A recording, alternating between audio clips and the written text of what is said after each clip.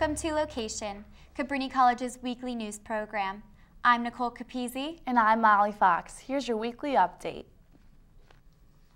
One of Cabrini College's residence halls experienced a bomb threat this past Sunday, March 17th.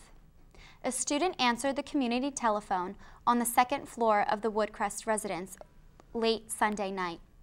The caller stated that there was a bomb in the building Residence Life staff members evacuated the building and Radnor Police Department were notified. When Radnor Police arrived around 9.45 p.m., they requested that nearby Holy Spirit Library and East Residence Hall be evacuated, with students being directed to Xavier Hall for their protection. After bomb detecting dogs swept Woodcrest Hall, students were allowed back into the residence halls at 12.30 a.m. Monday morning. Cabrini spokesman Jean Castellano said that Radnor officers determined the threat was unfounded. Radnor police continue to investigate. If you want to welcome spring, then go to the World Water Day 5K, run, and walkathon. This Saturday, March 23rd, there will be a 5K at Martin Luther King Drive near the Philadelphia Art Museum. Participating in this event will help in demonstrating concern and passion for clean water. The 5K will run from 9 to 10 a.m.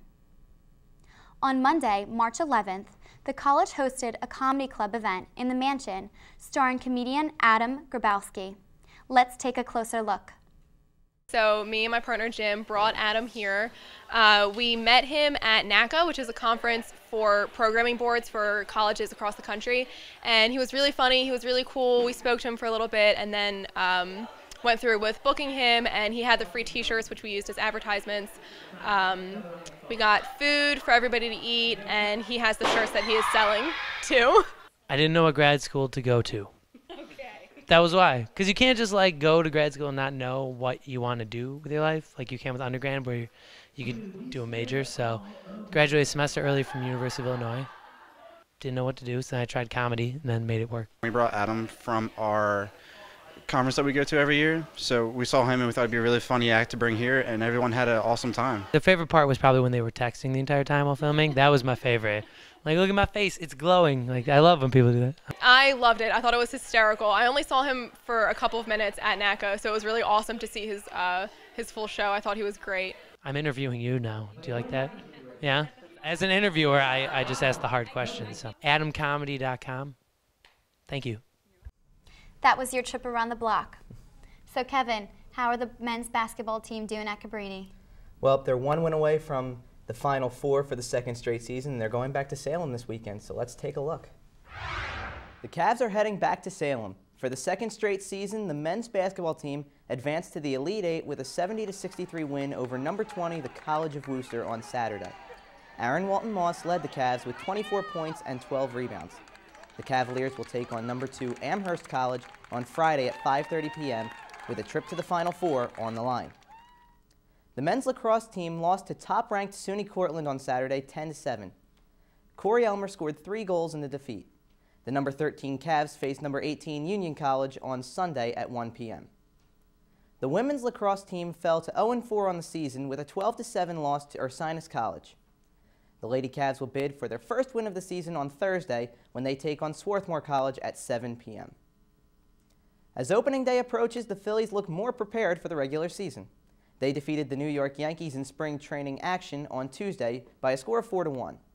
Kyle Kendrick allowed one run in six innings, while Domonic Brown and Ryan Howard both hit home runs in the win. Tune in next week for a look at the Cavs' trip to Salem, as well as updates on the rest of Cabrini and Philly sports. Now here's Molly with your trip across the nation. Seton Hills University women's lacrosse team tour bus got in an accident Saturday on the Pennsylvania Turnpike in Carlisle. The bus was carrying 23 people who were players or associated with the team when it crashed, authorities said. The coach of the team was among the two that were killed in the crash.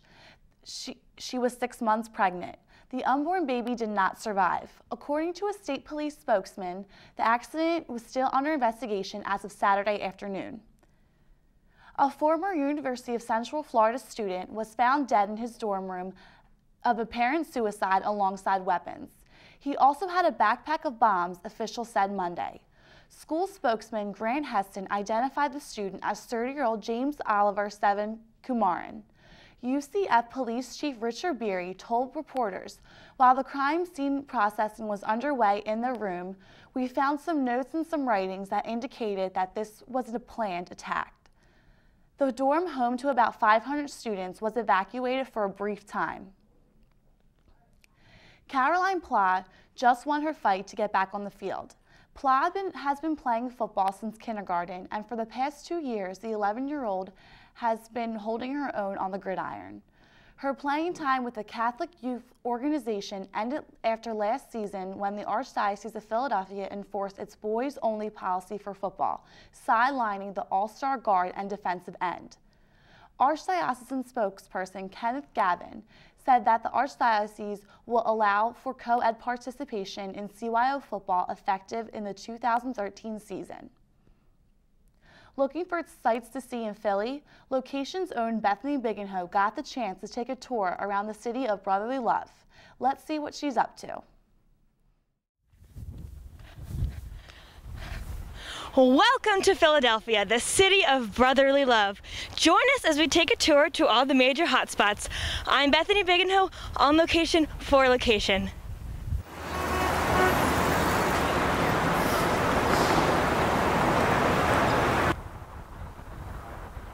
If you're not a Philadelphia sports fan, you should be. We're at the Wells Fargo Center here, and you can come support your 76ers and Flyers. Do you love Philadelphia? Do you love spring sports? The Citizens Bank Park is the host of the Philadelphia Phillies. If you don't have tickets, just go right across the street to Xfinity Live and you can enjoy all the games there. Welcome to South Street, one of Philadelphia's most famous streets. Here is the home to TLA, which hosts many different concerts and different types of genre of music. Also, there's many fine dining options and shopping.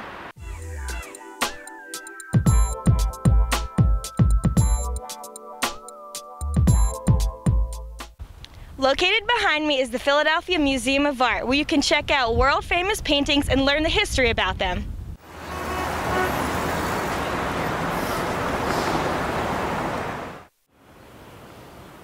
After seeing all that Philly has to offer, how can you tell me you don't love Philadelphia? I'm Bethany Biggenhoe, now back to the news desk.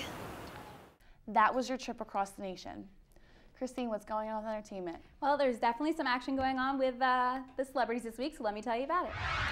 First up in breaking news this weekend, they have reportedly been dating for months, but only recently did Tiger Woods and Lindsey Vonn confirm they have been dating. The 37 year old golfer and the 28 year old Olympic gold medalist skier each posted statements and professionally shot photos of them together on their Facebook pages Monday morning. The two met and struck up a friendship, friendship at a charity auction in April 2012 before they began dating in the fall. It wouldn't have been an eventful week if Lindsay Lohan wasn't getting to, into trouble. She isn't headed back to jail, but she won't be free to party for a while either. The troubled 26 year old actress accepted a plea deal on Monday in a misdemeanor car crash case that included 90 days in a lockdown rehabilitation facility that she won't be able to leave. Lohan, who has struggled for years with legal problems and has been briefly jailed five times, pled to no contest with reckless driving and lying to police who were investigating the accident involving the actress in June along Pacific Coast Highway. That was your entertainment update. Now here's Nicole with your trip across the world. A wave of bombings in Iraq on Tuesday, killing 65 people on the eve of the 10th anniversary of the U.S.-led invasion, showed how unstable Iraq remains more than a year after the withdrawal of American troops.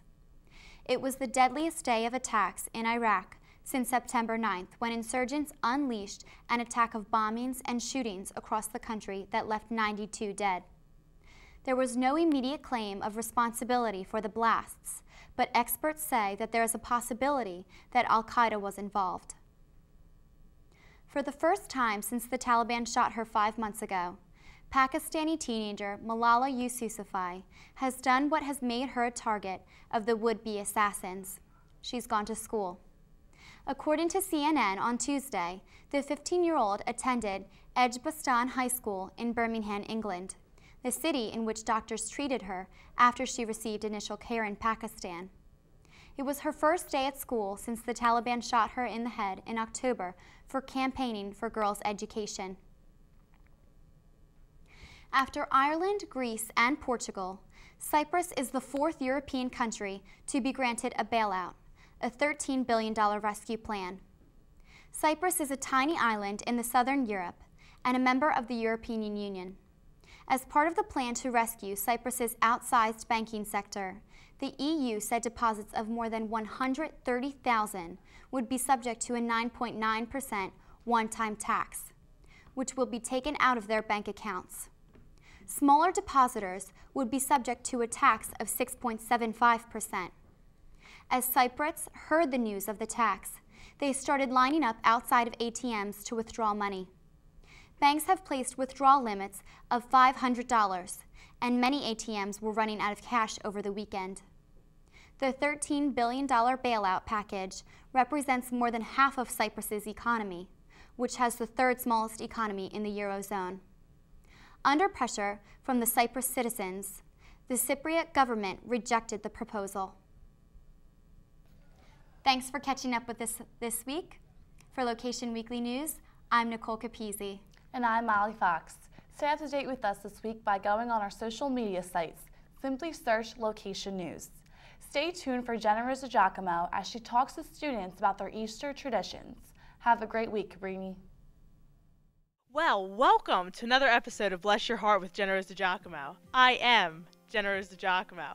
And on today's episode of Bless Your Heart, I talked to students about their Easter traditions, the Easter Bunny, and what they were going to be doing over their four day vacation. Let's check it out, Cabrini. Are you excited? Intrigued? Nervous? Scared? What do you think? I am excited because I, I know I'm going to be getting candy. Um, this year we're having Easter at our house. So. the whole fam coming? The whole, the whole Johansson family coming? the whole family. I am so excited. What are you going to be doing?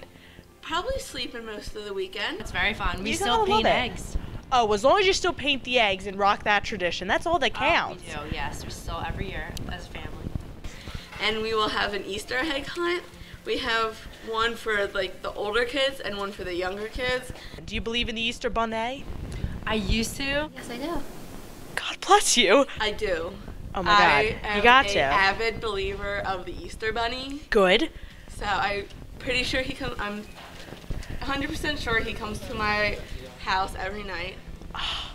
Not every so night. it's like yeah. an ongoing event That Yeah, like- Easter just happens every day of the year. Yeah. When you hear the word Easter, what is the first few things that come to your mind? Tell us, sister.